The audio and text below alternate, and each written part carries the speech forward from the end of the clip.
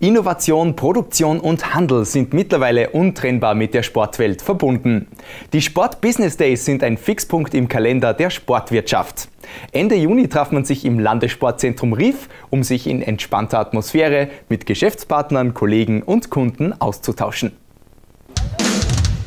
Sport ist in unserer Zeit ein wichtiger Wirtschaftsfaktor. Daher haben gerade die Sport Business Days eine große Bedeutung erlangt. Die Sport-Business-Tage finden heute das neunte Mal statt.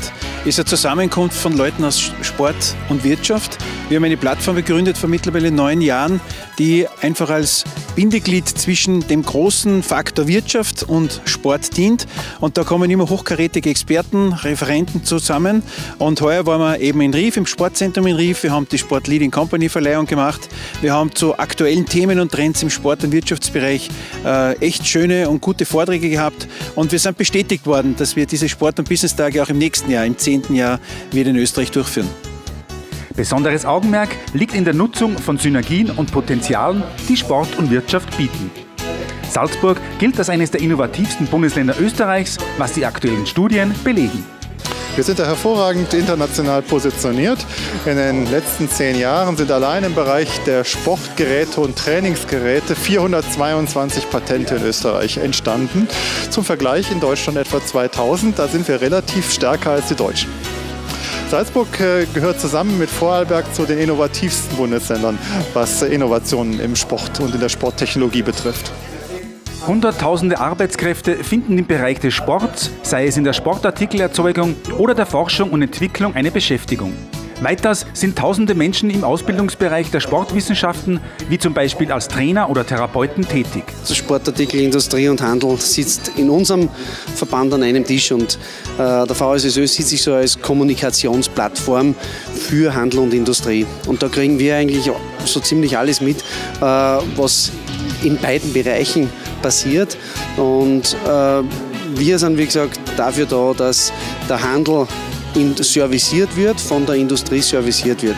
Innovationen äh, sind wichtig, die braucht der Handel, äh, braucht aber auch die Industrie, damit der Handel funktioniert. Äh, wir brauchen sie aber auch, damit wir äh, die Kinder, die Jugend zum Sport wieder bewegen. Die Zertifikationsverleihung für Österreichs führende Unternehmen im Sport durch die Sport Leading Company ist eines der Highlights der Sport Business Days. Also das Ziel der Unternehmung der Sport Leading Company ist im Grunde ähm, die besondere Stellung der Sportunternehmen in Österreich einmal vor den Vorhang zu holen und auch die besondere Stellung dieser Unternehmen einmal auszuzeichnen und zu zertifizieren. Wir haben ja in Österreich die Situation, dass Sportunternehmen ganz besonders zur Wertschöpfung von Österreich beitragen. Und das ist das Ziel der Initiative, dass man diese Unternehmen einmal, ja, wie gesagt, vor den Vorhang holt und zertifiziert als Sport Leading Company, als führendes Unternehmen im Sport in Österreich. Abgerundet wird das sportwissenschaftliche Beisammensein am ersten Sport-Business-Tag mit dem Genuss eines saftigen Spanferkels. Die Gäste sind von der Idee, Sport und Business zu kombinieren, begeistert. Also ich habe die Veranstaltung als sehr innovativ und sehr erfrischend erlebt. Man sieht, dass da ein neuer, ein neuer Zunder drinnen ist. Also genau das, was die Veranstaltung verkauft, ist heute da passiert.